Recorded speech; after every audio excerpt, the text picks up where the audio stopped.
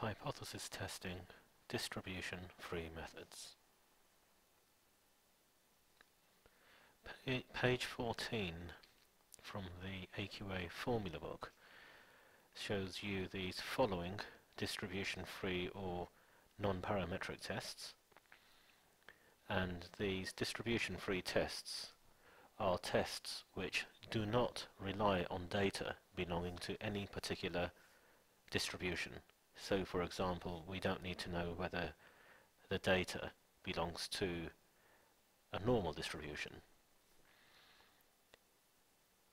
Contingency tables are distribution-free tests, as well as uh, the Wilcoxon test, and the sign test, which is not mentioned here, and then the final two, the Mann-Whitney U-test and the Kruskal-Wallis test. These are all distribution-free or non-parametric tests.